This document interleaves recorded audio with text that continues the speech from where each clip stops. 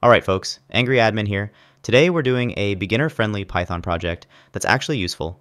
We're going to generate QR codes for my game, Hack Me Now, my YouTube subscribe link, and my Buy Me a Coffee page. Perfect if you're just starting with Python, easy to customize but still feels like a hacker. First, we need one thing installed. In your terminal, run pip install QR code.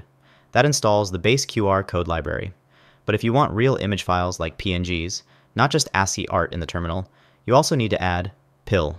That PIL part pulls in Pillow, the Python imaging library. Without Pillow, the library can't actually render and save images.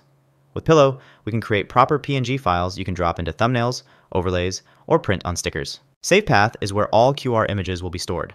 I'm using rctemp. The R makes it a raw string, so slash t isn't treated like a tab character and nothing breaks. Now the heart of the script is this function. takes the data and file name you pass in. Data is usually a URL, uses os.path.join to safely combine save path with the file name, so you don't hardcode path everywhere. Calls QR .makeData to generate the QR image from that data, saves the image to disk, and prints the full path so you know where it landed.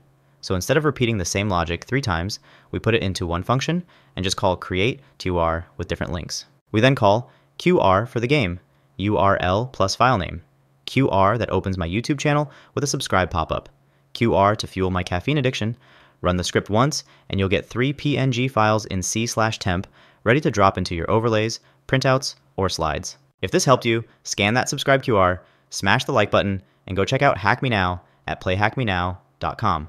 My new X handler is at the Tech World Pod. Please give me a follow.